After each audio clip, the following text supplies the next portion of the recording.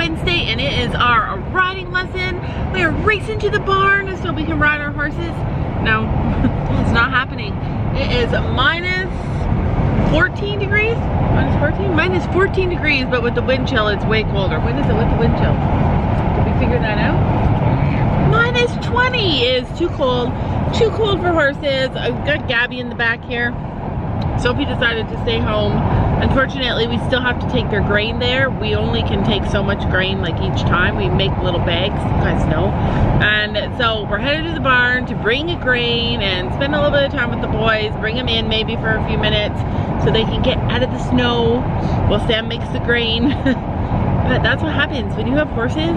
It is rain or shine or snow or freezing cold, no matter what, you gotta be there, you gotta be taking care of them, and so that's what we're doing. We're being good horse owners and doing what we have to do, but man, I am tired of this. If you are somebody who lives in a warm climate, I am so jealous. I wanna come there, I wanna live there. I honestly do, I would move. I would move to the States in a second, would you? Like, I just wanna move, you guys. I, I hate winter.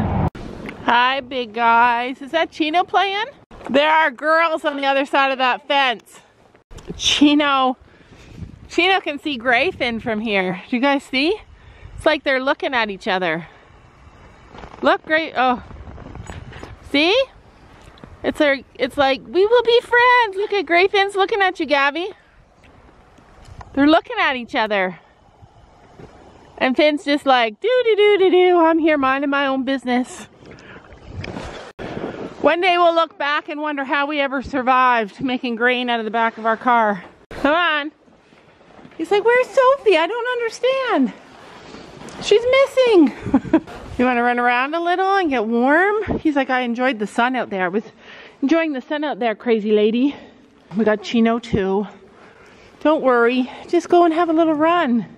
So at our old barn, we had like so much area for them to run around and be active in. And then they didn't really want to work all the time because they were so busy enjoying their lives. Oh, he misses Sophie. He's like, oh, he's leaving me. And this barn, they actually have enough area to move around, but now it's winter and they don't really want to move, move around. So it's nice that they can come in. Oh, it's nice they can come in when they need to have a little break. They both want to roll. Don't do it. I'm telling you, don't do it. It's not a good idea.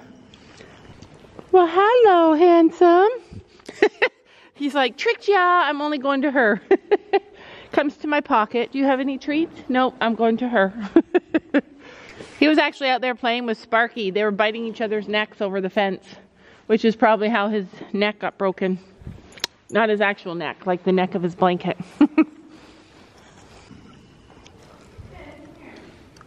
Come on, Finny. Finn, Finn is a follower.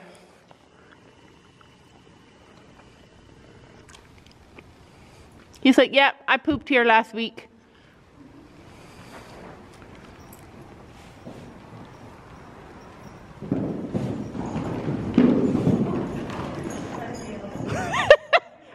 now that was jealousy.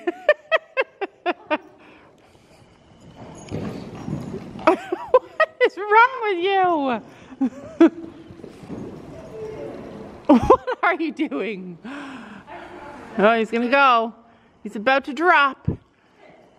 And there he goes. There he goes on the ground. Yeah, everybody get close.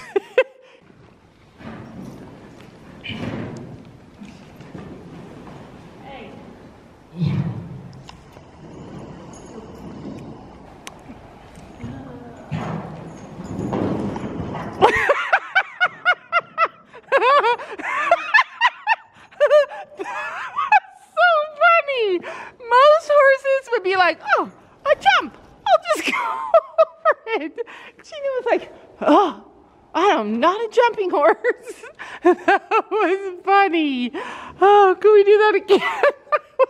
so funny, Chino. Gabby, do you think Chino doesn't like jumping? Eh. Eh.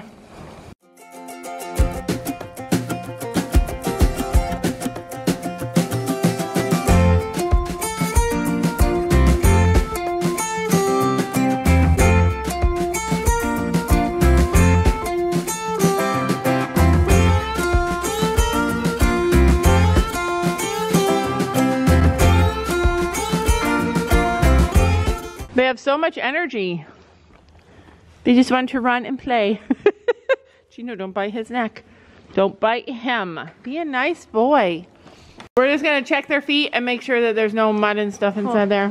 Freezing ice inside there because Penny gets that and Storm gets that. children's size gloves. Gabby and her children's size gloves. My father thought I had children's size hands. They almost fit. yeah, that's the thing about fathers. Fathers are like that, you guys. And he blames me because apparently I picked them out, which I didn't. Carrot stretches, big boy. He's like, okay, I will always do carrot stretches. We've been really good about our carrot stretches with our horses. And this guy's like trained already. He already knows. I told you that the other day. He's like, okay, I can do it. I can do it.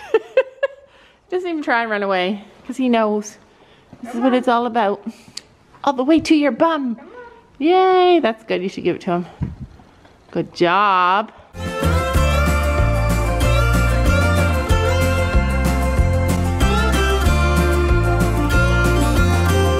Finn's over there staring at me like, what about me? I need some. He's really good at those.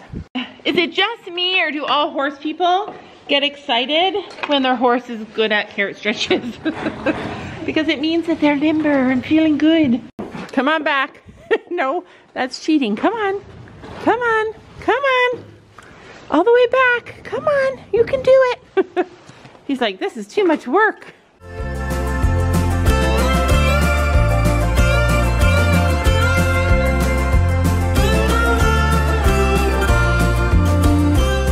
So this is something that we always do with our horses and we also do leg stretches because in the past you guys know that because our kids are still learning to ride, I want our horses to be in the best shape that they can be. So we have chiropractor and massage every month and to kind of like balance out the mistakes they make. And this is one of the things that they both agree are the best thing to do with horses. So they've taught us like some leg stretches to stretch them out before a ride and after a ride. And they've taught us uh, to do carrot stretches and they've, the horses naturally know how to lick the metal because that's what they do best stretch it Finny it's so weird because Finn doesn't do as good normally with carrot stretches. I mean, he does them, but he doesn't do as good as Chino. But he doesn't like to, so you have to hold his halter. Yeah, he doesn't like to. Uh, uh, uh. He doesn't like to, but typically Chino has the or but typically Finny has the best back. Like he's short back, he's got a strong back. He's like super strong, never ever has a problem. What is that? Oh, oh whoa be running me over, dude. He never has a problem, typically, and he hates them the most. Good boy. Good boy. So that's it for the, for the coldest day of the year so far, is it? Actually, it might be the second coldest day of the year so far. That's it, we're going home now. Just brought them in, let them run around and play a little did their stretches that we would normally do on a riding day. Oh, hold on, hold on. And now we're headed back out. Gabby says she can't feel her toes. I can't feel my toes either. Can't even feel my nose. Can you guys tell I'm like in kick zone here? Whew. Get going. what the heck? We'll be back.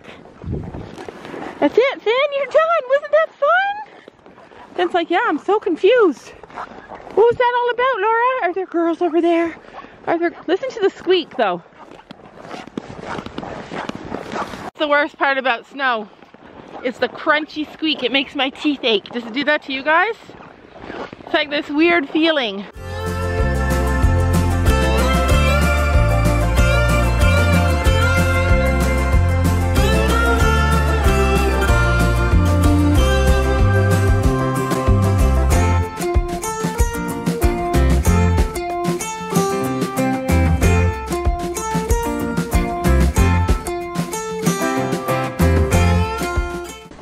You have a big drink. Look, he's got cows to the left of him, horses to the right.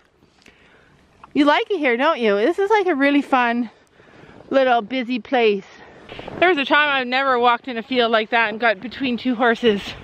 I'm brave now, you guys. Looking back on our journey with horses, I feel like I would never change any bit of it, any part of it. Like buying our horses, loving them all. Each one has taught us something different in this journey and even though we're entering a totally different journey, like horses is such a journey. So many different things to like consider. There's Storm. Bye Storm. With his head in the head in the hay. So many different things to consider and learn and like every horse takes you somewhere. And having them and loving them and growing with them has been such a has been such a blessing and a journey and I would not go back one single step, would you? What would you do differently? What I would do differently is uh, get my girls into uh, tennis. tennis, tennis is where it's at. if you could do any, if you could do anything differently in your horse journey, what would it be? Get a chestnut mare. she has a choice of a chestnut. I had one before. Yeah, she did have one. It was her first horse, lease horse. And I think that's why she has so much affection for them because when her heart was at its biggest for horses, like when you're a child, you have the Chestnut biggest. treat me like their baby. Chestnut mares treat her They love me. like a baby. Palominos all hate me. Palominos all hate her. Is that For true? some reason. Like, uh, they're racist. Horses are racist, you guys. Obviously, horses are not like that. They're not designed like that. They don't think like that. But it's funny to say. Like, it's funny how people just like say things like that. But Gabby feels like connected. I ride. Look at all of them. Yeah. All. What about Denver? Does Denver like you? Uh-uh. No. It's weird. Like, I feel like all paints like me. That's his job, but Do you think that it ever could be like you love something and then it transfers onto the horse and the horse connects to that? Like maybe paints love me because I love paints. no. I think all pennies. I think all pennies eat. Penny does not love Sam. Even though he does try.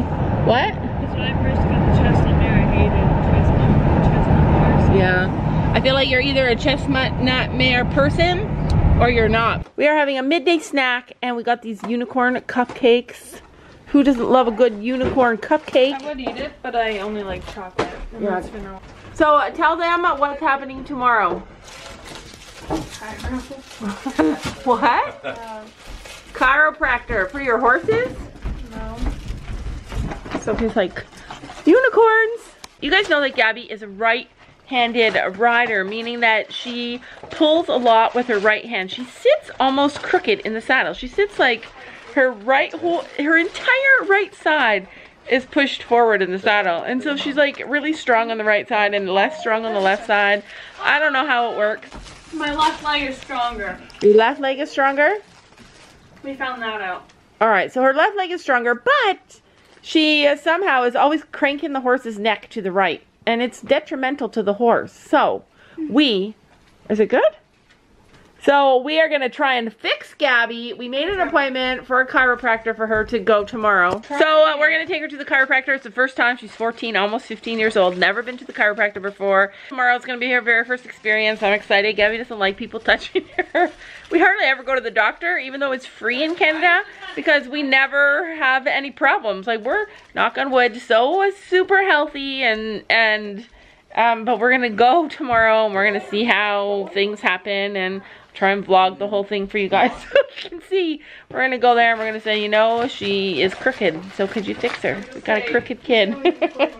Your horse was so sad when you weren't there. He was looking everywhere for you. I'll see you next time. You see him next time? That is it for today's video, and we will see you guys tomorrow. Wish Gabby luck in the comments that she gets fixed so that our horses are good. Don't you know that you're beautiful? just the way